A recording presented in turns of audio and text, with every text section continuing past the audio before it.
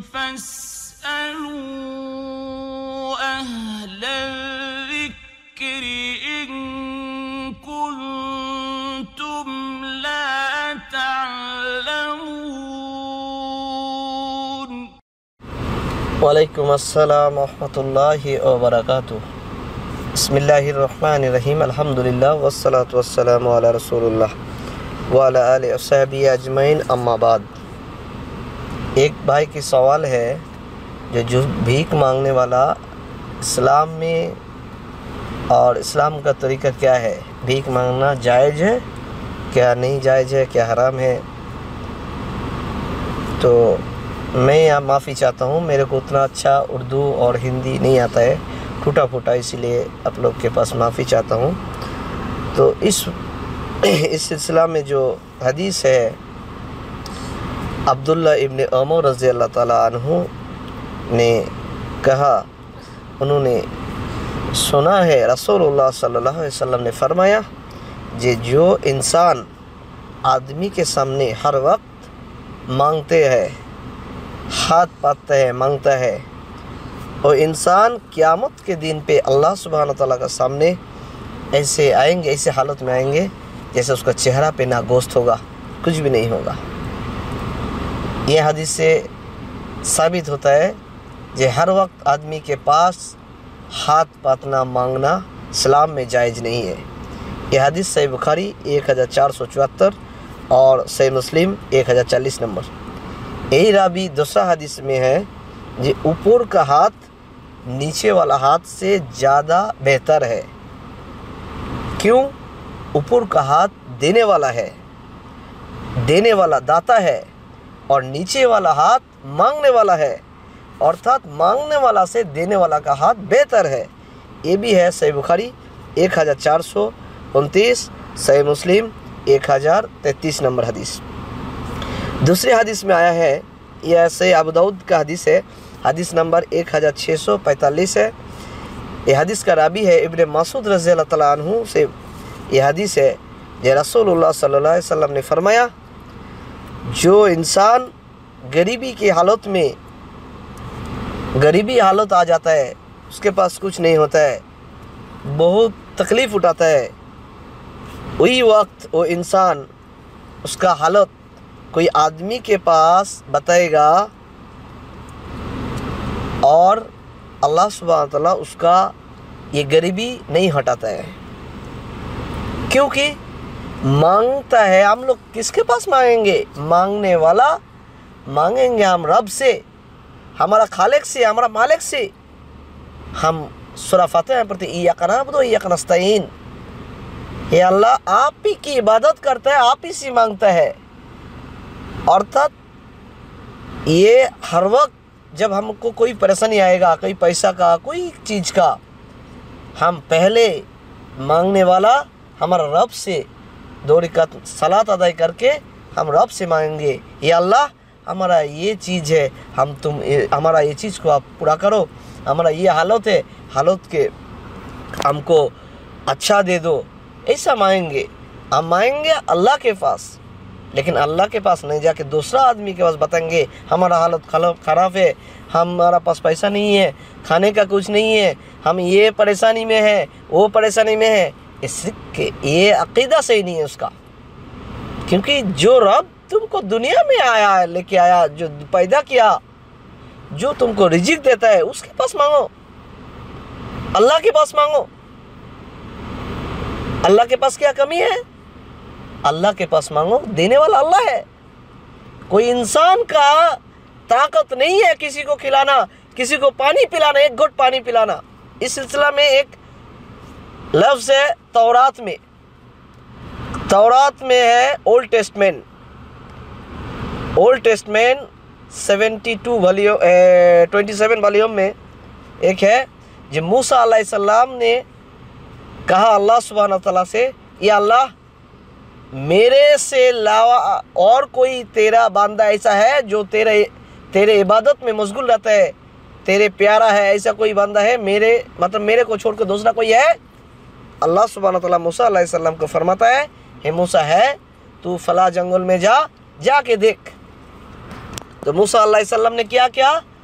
यही जंगल में जाके देखा एक बुढ़ा है सिजदा में पड़ा हुआ है। जब बुढ़ा सिजदा में पड़ा है सिजदा से उठा उसको सलाम किया मूसा ने और उसको मिला। फिर वो बोला आ, तुम इधर क्या कर रहे?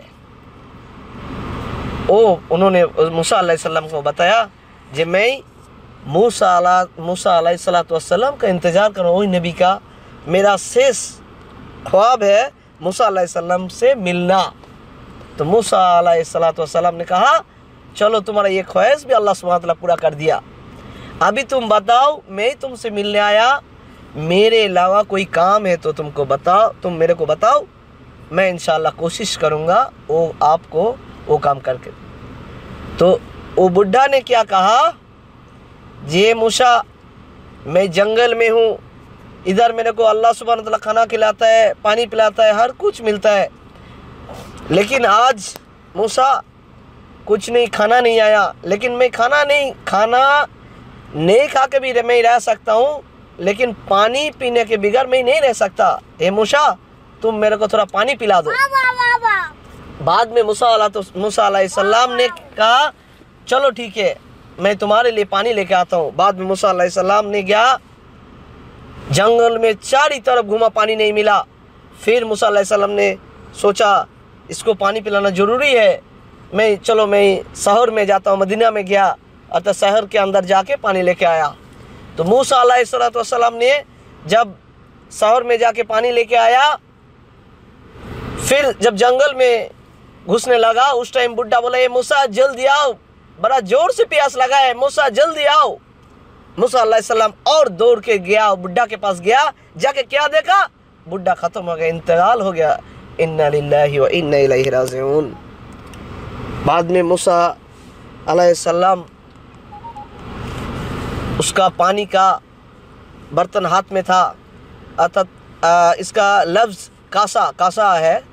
तौरात का जो लफ्ज़ है, कासा है तो कासा हाथ में है और बुढ़ा का सर अपने रानों के ऊपर रखा और देखा ये सही इसके मौत हुआ नहीं हुआ? फिर देखा, जी, मौत हो गया।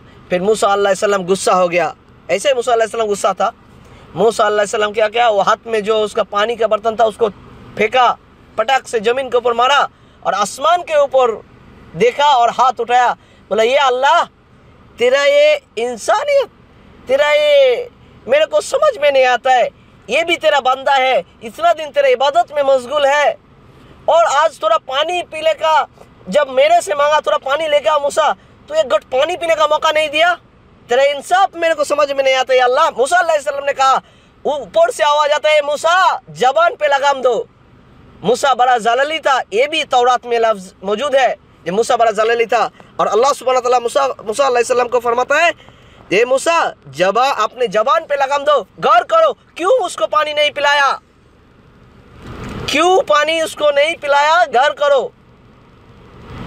क्योंकि आगे वाला तुम्हारा नस्ल के ये पता होना चाहिए जे हाथ में मूसा सल्लम नबी, हाथ में पानी है, ज़रूरी, उसका ज़रूरी नहीं है जो मूसा जिसको चाहे पानी पिलाए, जब तक मैं उसको पानी नहीं पिलाता हूँ तुम्हारा अंदर कोई ताकत नहीं है, कोई नबी का अंदर ताकत नहीं है। ये उसको पानी पिलाए अगर तेरा अंदर ताकत है, मूसा तो तू पानी पिला के दिखा। तौरात में है। तो इसके क्या साबित होता है? जो किसी के पास किसी को खाना खिलाना, पानी खिलाना, पानी पिलाना, ये इंसान का काम नहीं है जब तक अल्लाह राज़ी ना हो, अल्लाह उसको पिलाए। तो मांगने वाला हमारा बोलने का यदा यही है जो हम मांगने वाला अल्लाह से मांगेंगे, अल्लाह हमारा ये ज़रूरी आप पूरा करो। हमारा ये जो हम परेशानी परेशानी आप दूर करो, अल्लाह से मांगेंगे। बाद में इंसान के तरफ़ हर ज़रूरत होता है। एक एक दो, एक दूसरे के लिए अल्लाह ताला बनाया ज़रूरत है। लेकिन फ़र्स्ट ऑफ़ ऑल हम किससे मांगेंगे? अल्लाह सुबहाना तला से मांगेंगे। ये हमारा अकीदा होना चाहिए। और अकीदा ऐसा हो गया जो कोई थोड़ा परेशानी होगा, आदमी के पास रहेंगे भाई इलेक्ट्रिक का बिल आ गया, खाना नहीं खाया, ये हो गया हो गया, थोड़ा पैसा दे दो, कुछ दे दो, ये बहुत मुसीबत में इस बट बेटे का स्कूल का फ़ीस भरना है, ये भरना है, ये तरीका नहीं है, पहले अल्लाह से मांगो, देने वाला तो अल्लाह है। इसीलिए जो हदीस है रसूल ने फरमाया, जो आदमी कोई परेशानी में पड़े और अल्लाह को छोड़ के कोई इंसान के पास जाए, बोले तो अल्लाह सुबह तला उसका वो परेशानी दूर नहीं करता है। यह हदीस है।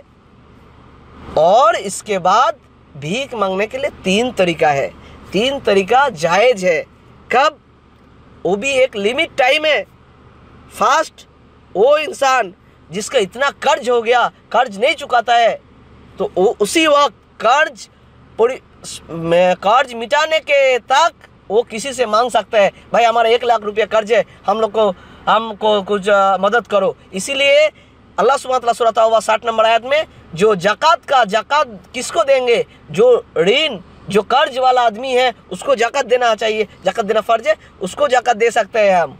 तो इसीलिए जब तक उसका कर्ज पूरा नहीं हो, तब तक उसको वो मांग सकता है। उसी टाइम जब कर्ज पूरा हो जाएगा, उसके बाद मांगना हराम है। एक नंबर। दूसरी, जो आदमी का कोई घर टूट गया, ज़मीन का फ़सल खत्म हो गया, खेती का पूरा फ़सल चला गया अभी इस हालत हो गया, खाने का नहीं है। उस तक, जब तक उसका वो पहले जैसा सेम सेम नहीं होए, उसी वक्त तक वो भी किसी से मांग सकते हैं। भाई, हमारा पास चावल नहीं है, हम कुछ चावल दे दो, कुछ खाना पीना के दे दो, इंशाल्लाह ये साल तो ऐसा हो गया, अगले साल इंशाल्लाह हमारा सही हो जाएगा तो हम नहीं मांगेंगे। मतलब जैसे एक टाइम होता है वो टाइम तक जिस जब जब तक उसका वो ज़रूरत पूरा हो जाए किसी को मांगने का ज़रूरत नहीं है उस टाइम तक एक लिमिट है। उस टाइम तक वो मांग सकता है इसका ज़मीन ख़त्म हो गया घर बारी ख़त्म हो गया उस टाइम थोड़ा वो मांग सकते हैं। लेकिन अला अलातुल नहीं है। अलातुल इजाज़त नहीं है इस्लाम में किसी के पास भीख मांगना। तीसरा तीसरा वही व्यक्ति है जो यतीम मिस्कीन उसके पास आ, कुछ भी नहीं है। और वो यतीम के लिए कोई मतलब किसी को सबूत है जे हाँ वो यतीम है। दो आदमी उसके लिए सबूत है जे हाँ वो यतीम है। उसके पास खाने पीना का नहीं है। वो बहुत तकलीफ़ से है। कोई आदमी उसके लिए ये देता है जे हाँ ये सही है, इसकी यतीम है। हाँ उस टाइम उसको भी दे सकता है जब तक उसका भी पूरा ना हो जाए। जब तक उसका भी नॉर्मल सिचुएशन ना आए, उस तक उसको भी देना ज़रूरी है। इसके मतलब तीन चीज़ में मांग सकता है, लेकिन एक टाइम है। मतलब उसका वो जब पूरा हो जाएगा, उसके बाद नहीं है। ये हदीस है ऐसे मुस्लिम का हदीस है, एक हज़ार चौवालीस नंबर अबदाऊद एक हज़ार छः सौ चालीस, नासाई दो हज़ार पाँच सौ अस्सी नंबर हदीस है। उसके बाद एक हदीस है, मुस्नद अहमद का अलैहि वसल्लम के एक पास एक आदमी आया भीख मांगने।